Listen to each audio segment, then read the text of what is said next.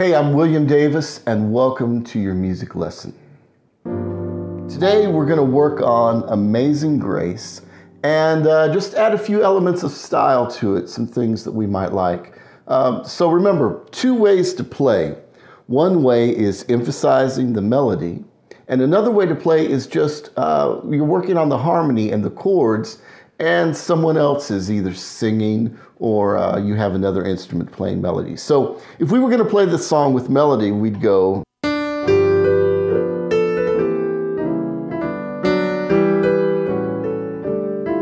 So we're not going to do that right now. We're going to concentrate on playing how we would play if we were in a group and we were backing someone up, okay? So uh, I would play it like this.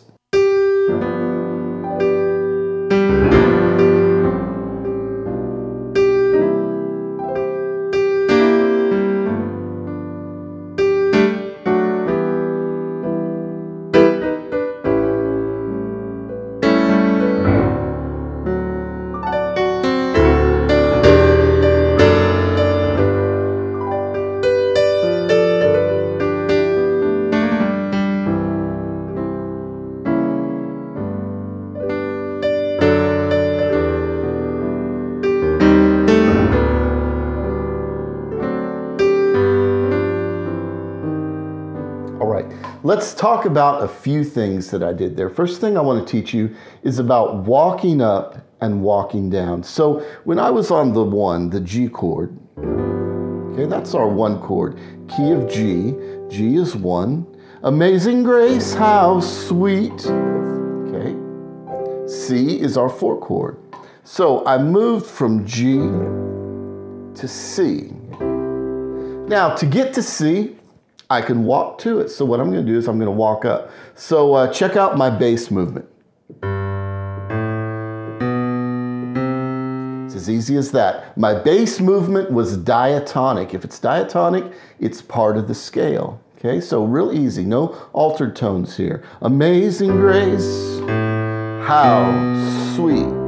Okay, now with my right hand, I have other diatonic tones available. That is, notes that belong to the scale that I can use to move up. So I can do like this. Sing grace. And now I'm on my C chord. Okay? So the first thing you want to do, uh, first way you want to think when you're uh, making your music a little fancier sounding, is to think what notes are available to you. You have the notes of the scale available to you. So when you're in G, the notes that are in the G scale generally are going to work in all kinds of different situations. What I did is I walked my bass up to the four.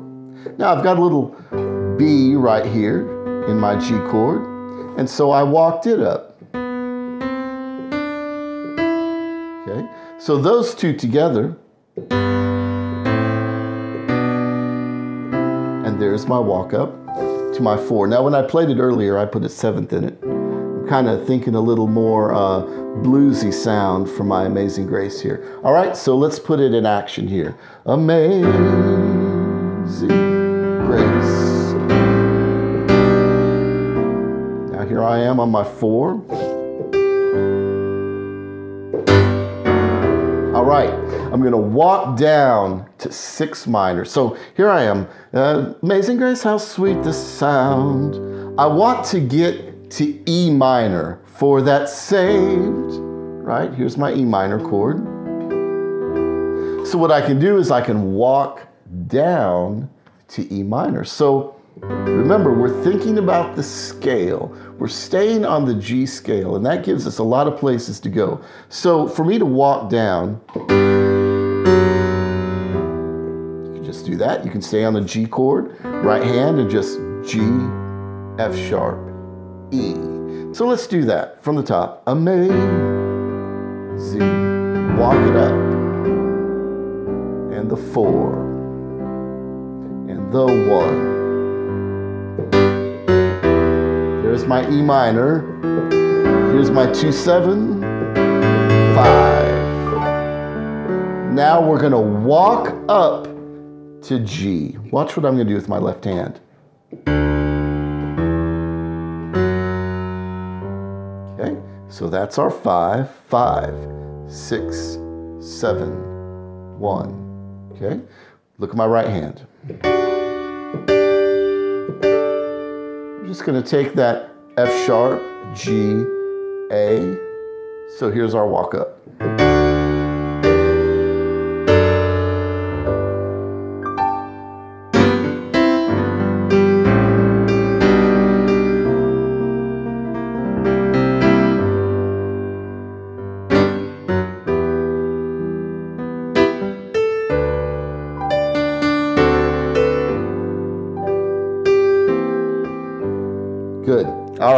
So walking up and walking down, all things that we can do on any song. So I want to give you something to practice. Uh, want you to practice on in different keys, not just for Amazing Grace, just all kinds of chords. Just go to the key of C, for instance. And uh, if C is your one, then F is four, G is five, and back to C again. Okay? So, what I want you to do is I want you to walk up to the four chord. So, our left hand is going to be C, E, E, F. Okay? Our right hand, I'm using this uh, first inversion of the C chord. So, I'm just going to walk up like this. Put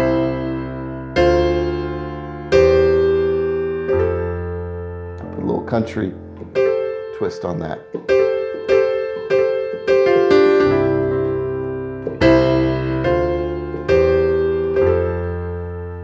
Now let's walk back down from the F to the C.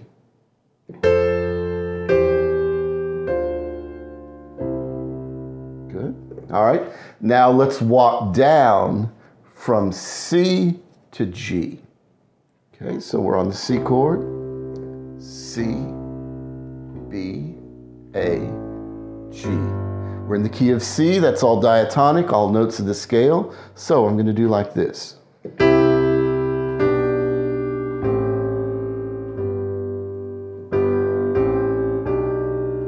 Okay, so all I'm doing is I'm moving my root and I'm moving my third. Three, two, one, seven. And I'm talking about this note here seven, one, two, three. Now let's walk up, looking at the right hand note. Three, four, five, six, six, five, four, three. All right, you should practice these in uh, all your keys, uh, any key, even if they're harder keys. Work on your scales. We're going to talk more about walk ups and walk downs in uh, future lessons, but this will get you started.